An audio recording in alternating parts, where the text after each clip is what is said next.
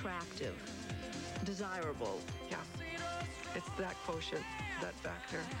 Some women are and some women aren't. Are you?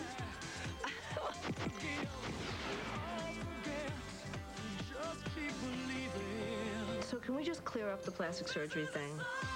Tonight, the world according to Cher.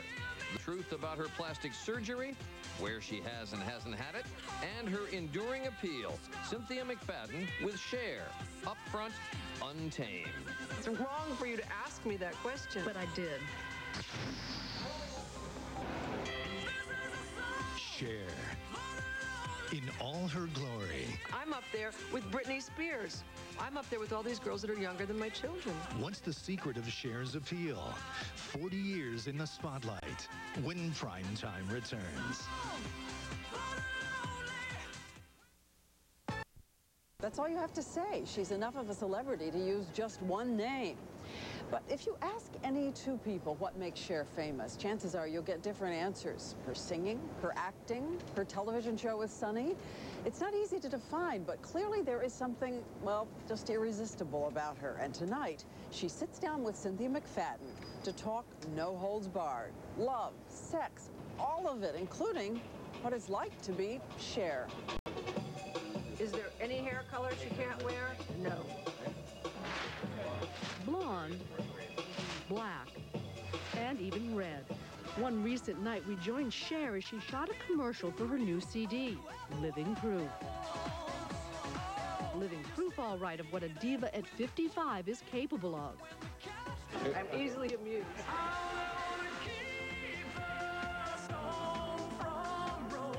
Six hours of cheerful shooting until 3 in the morning for a 30-second commercial. For Cher. Earlier that evening, she asked us to come to her home in Malibu, high above the beach. She lives just the way you want a movie star to live big. When we entered her sitting room next to her bedroom, we weren't sure which version of Cher would emerge from behind the curtain.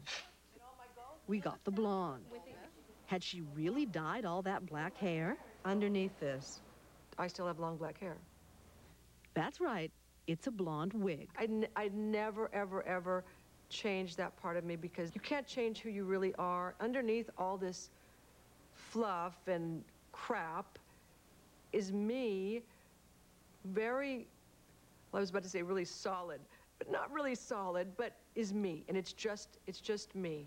It's just me like I was six years old. I haven't changed in all that time, in a hundred years. I start to first by myself, then the girls come in, then we go to the bridge. All that's working great. Not a hundred years, but 40 years in the public eye. And while she may feel that she hasn't changed on the inside, on the outside, she has gone from 16-year-old Cherilyn LaPiere to Cher Bono to Cher Allman to Cher. No one would say just plain Cher. Content she is not.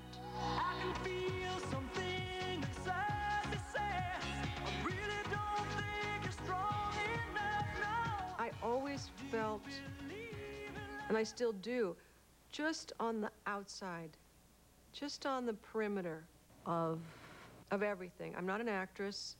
Actors don't consider me an actress. Singers don't consider me a singer.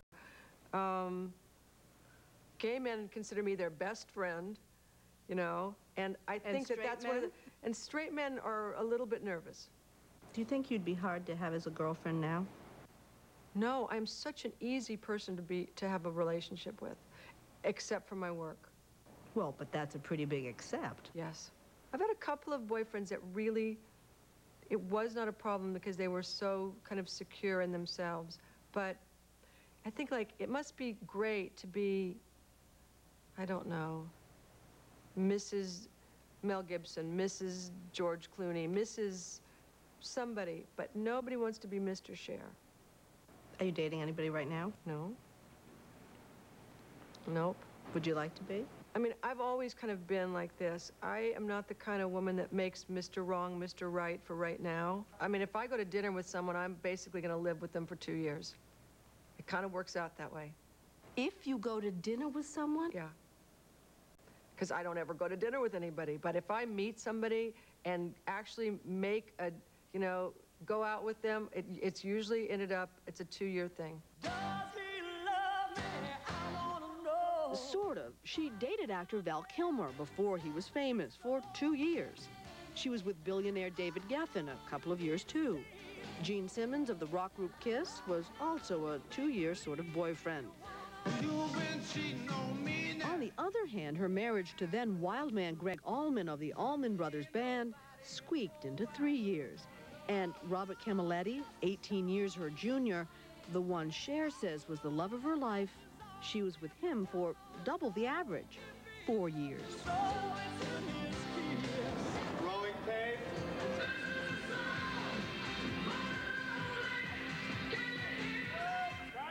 Right now, no dinners, no romance. What there is is work, Take it all the way to the end.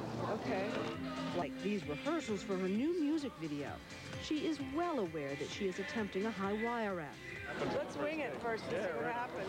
releasing a new CD on the heels of her past monster hit, Believe, in an industry that reveres you. We were with her when she debuted the single from that CD, A Song for the Lonely, at the American Music Awards.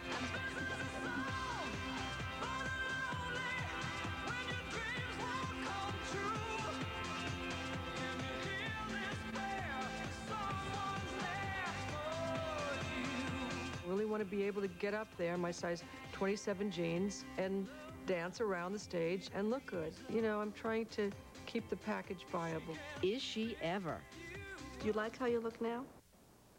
I was more happy at, at 40. 40 was like the, a, a very good year for me, you know? But I think for my age, I look good. Anything good about getting older? No, Nothing. no. I'm not smarter. I'm not, I'm not anything. I mean, I would love to lie, but I don't think there's anything good about it. See, I don't see what there's not to like about being 50. Well, you're not 50. Almost. And I'm not 50 either. I mean, I'm about to be 56. It's just, it's not that horrendous. But if you're asking me, do I love it? No. Would I rather be 40? Yes. I can't, I mean, I can't find anything better about it. Let me just put it that way. And I'm just not gonna, I'm just not gonna Gloria Steinem out and say, oh, no, I'm thrilled. Since becoming 50, you live in this fabulous house. Yes. You're one of the most famous women in the world. Yes. You've had a hit record. You, Yes. Looks like you might just have another one. I know. What's not to like? What's not to like? I'm grateful. I didn't say I was grateful. You said, How do you like being older? And I said, It's not as good as being younger. Also, I mean, I'm up there with Britney Spears. You know, I'm up there with all these girls that are 12. I'm up there with all these girls that are younger than my children. and how does that feel? Actually, last night it felt pretty good. And I thought, Oh, this is interesting. They're happy I'm here. And speaking of pop diva Britney Spears, who often says Cher is a role model, She has this great ambition to be better, which I really respect and reminds me a lot of, myself. Do you think looking at her, oh, I wish I could tell her just one thing? Oh, I've told her some things. Like, Take it easy. You know, if it doesn't matter in five years, it doesn't matter. Which is something my mother told me. Don't sweat the small stuff. You know, it's like the infomercial. Five years later, it wasn't such a big deal. Ah, the infamous infomercial of 1991. Having just won the Academy Award for her role in Moonstruck, critics went crazy that she followed it up with a cheesy plug, a favor for a friend with a line of hair care products. And I'm real excited that I'm The infomercial ran over and over again. Products to people. It took me a long, long time to dig my way out of that. So why did she do it? She says now it was just a mistaken judgment. She was ill with Epstein-Barr disease. This is the note she left on her bedroom door at the time, stricken with debilitating fatigue. It became a wrong choice. Am I sorry for it? No, you're not? no. It was Yeah, one of those but you things. really hurt yourself, don't you think? Oh yeah, I really did hurt myself.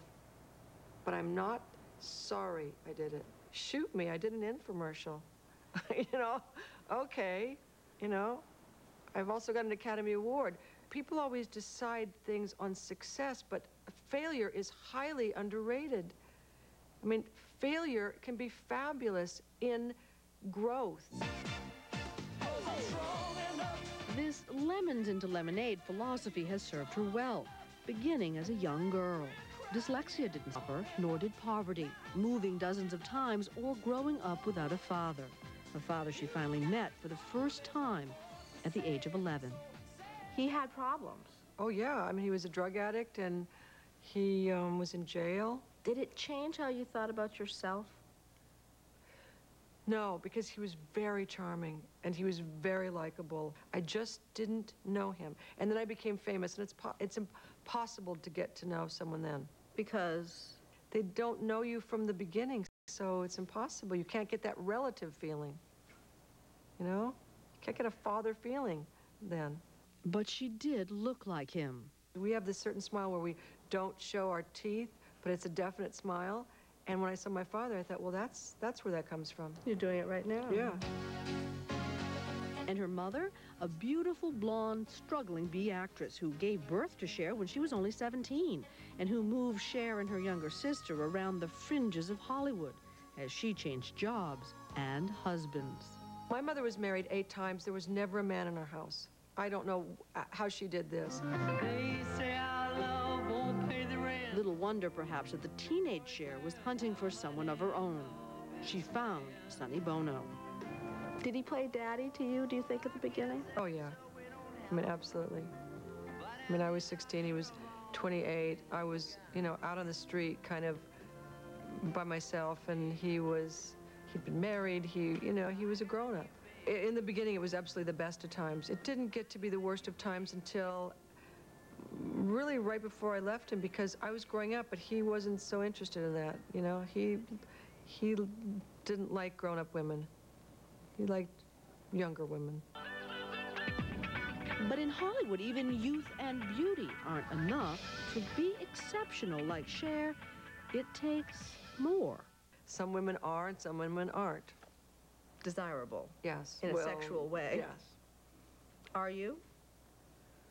well, you're, I mean, it's wrong for you to ask me that question. But I did. okay. Yeah. I think maybe it comes like me on the on the boat, on the gun. It's not something that you actually control or that you do. Oh, you can height, you can heighten it, and you can polish it, and you can, you know, blow it up, and you can make it larger than it was. But I think that it has to do with certain intrinsic values. And if you were to lose that thing, Well, I'll, I'll never lose it really. I mean, I might lose it visually, but I, it's never going to change how, what kind of a woman I am. it's a state of mind. Yeah. You either like something or you don't. You either enjoy it or you don't. I guess it's like playing basketball. Or riding a bicycle. Right. And if you were to lose your sexual allure at this point, what would that do to your career?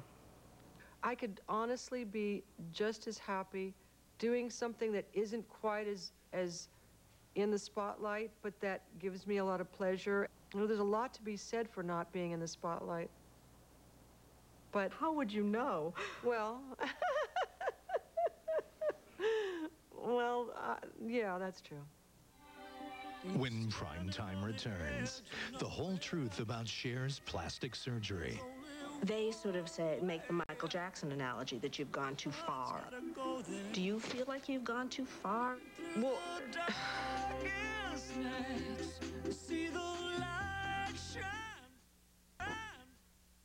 Primetime Thursday continues after this from our ABC stations.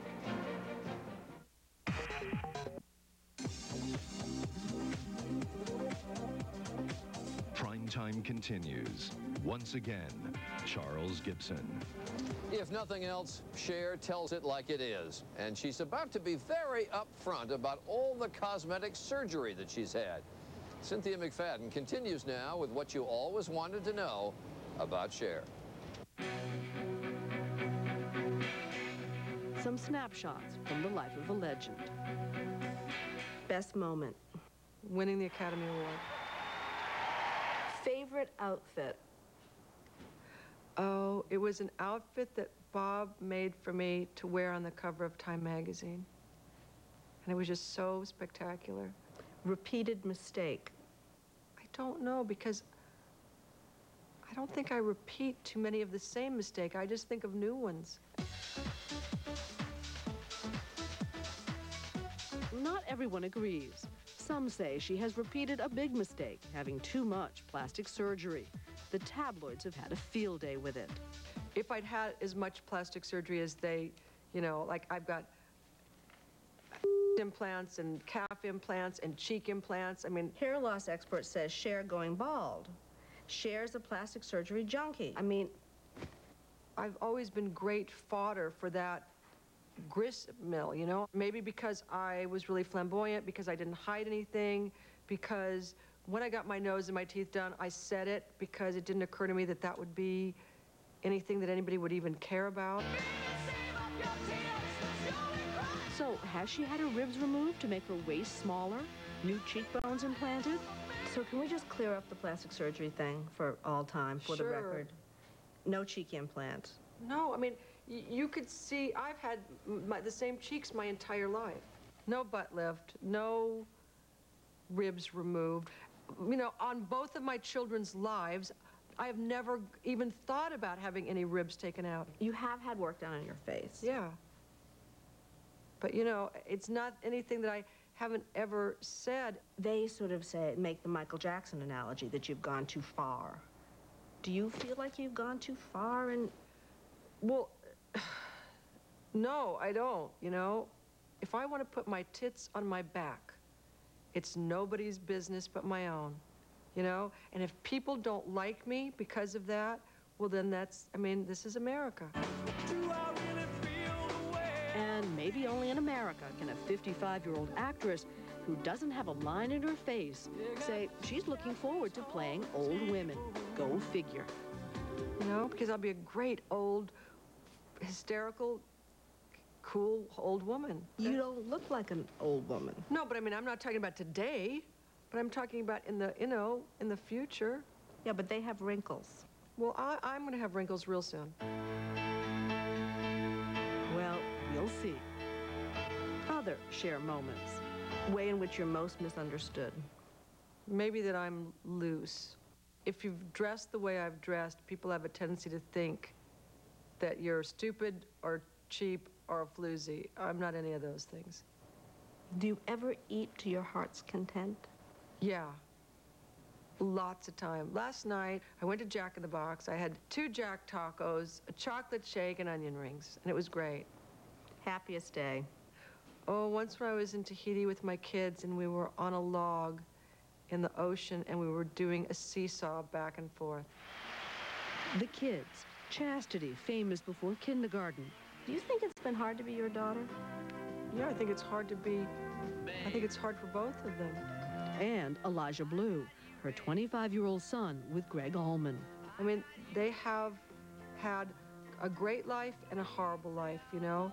But in life, you get what you get, you know, and then you make something out of it.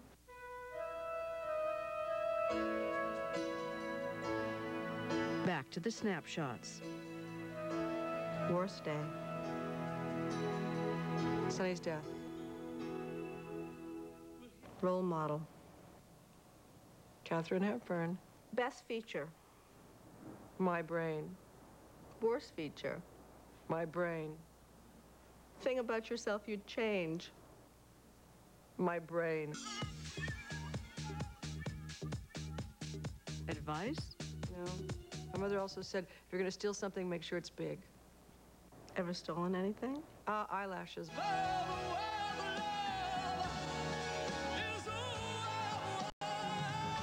Tell her to steal big, she'll steal small. And that seems about right. She doesn't really follow anyone else's path. She's an original. What do you know for sure?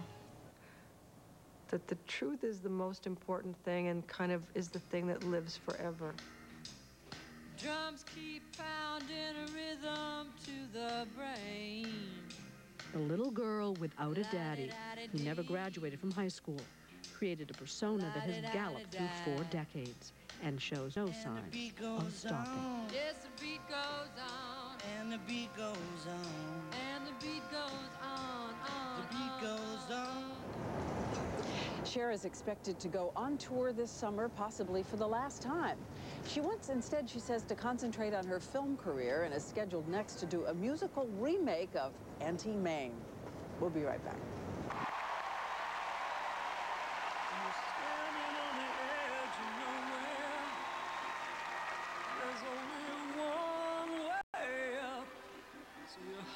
Gotta go there. Through the nights, see the light shine bright. When heroes fall in love or war,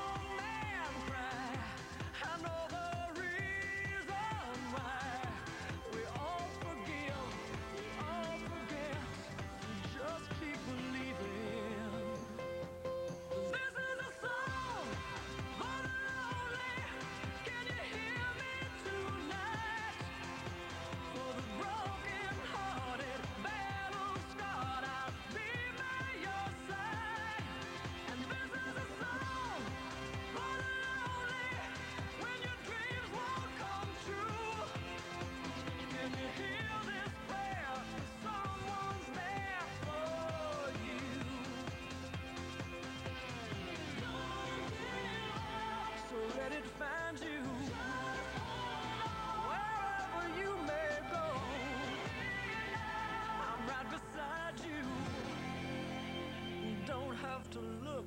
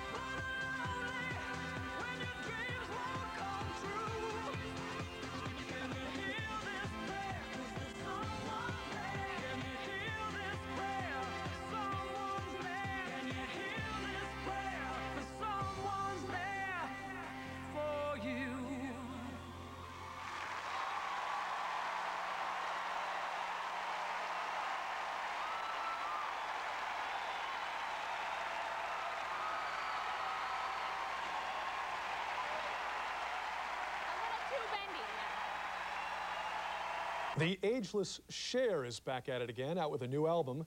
And before Matt left for an early weekend, he sat down with Cher to talk about her latest project. Cher's love for making records and making music paid off big time with the release of her 1998 single, Believe. It would become a global sensation and one of the biggest hits of her career. Do you